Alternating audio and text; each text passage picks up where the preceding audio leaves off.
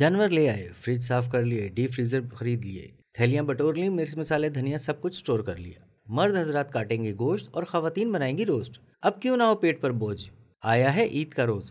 कोई गोश्त को फ्रिज में छुपा कर रखने तो कोई खाने का शौकीन। चले बात करते हैं अब इन आसान टिप्स के बारे में जो बड़ी ईद पर आपके भी खूब काम आएँगी। इनको जानने के लिए हमारी इस वीडियो को आखिर तक देखना ना भूलें और हमारे चैनल को लाइक और सब्सक्राइब भी कर दें। तो चलिए आपको टिप्स बताते हैं। फ्रीजर में जमे गोश्त को मिनटों में पिघलाने के लिए इसे ज़्यादा नमक मिले पानी में भिगो दें, इससे गोश्त की बर्फ़ पिघलने के साथ साथ इसमें जमा हुआ खून भी साफ़ हो जाएगा और गोश्त की रंगत भी तब्दील नहीं होगी। ईद से कबल ही प्याज को फ्राई करके एक कागज़ पर फैला लें और खुश्क करके उसको फ्रिज में रख लें।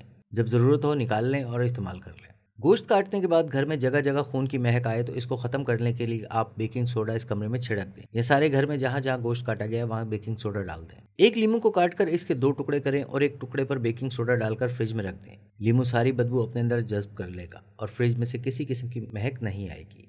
गोश्त को फ्रिज में रखने से कबल एक प्याली में बेकिंग सोडा डालकर फ्रिज में रख दें। इससे ना तो गोश्त खराब होगा और ना ही गोश्त में से बदबू आएगी। तो दोस्तों, आपको हमारी ये टिप्स कैसी लगी, हमें कमेंट सेक्शन में ज़रूर बताइएगा। और हाँ अगर आप कोई खास टिप जानना चाहते हैं तो हमें मैसेज करके बताइए। इस ईद पर हम करेंगे आपकी घरेलू मुश्किल हल, वो भी इसी तरह के छोटे और आसान टोटकों से।